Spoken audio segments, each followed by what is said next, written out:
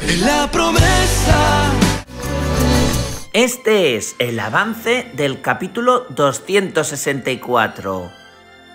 Tras la confesión de Teresa Feliciano acerca de que el ama de llaves les ha ordenado no volver a chismorrear sobre la maternidad de Petra, el joven está realmente emocionado con la actitud que ha tenido Pía, puesto que nadie se había preocupado tanto por él en la vida.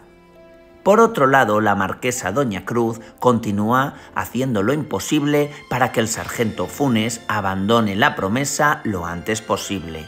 A ella no le interesa tener al guardia civil merodeando por el palacio, es por ello que advierte a Petra para que esté ojo a visor de cualquier cambio y se lo comunique. Y los días pasan y no tienen noticias de María Fernández. Toda esta situación ha hecho que el servicio esté cada vez más angustiado.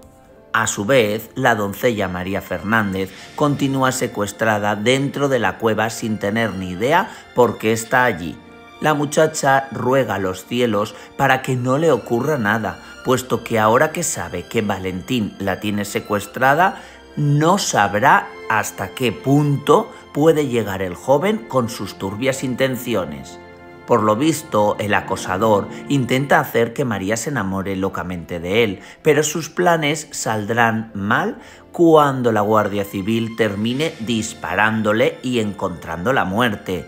¿Qué será ahora de María si nadie sabe dónde se encuentra? Y el capitán Lorenzo de la Mata y Margarita Llopis, ahora que son aliados, pues están con su investigación.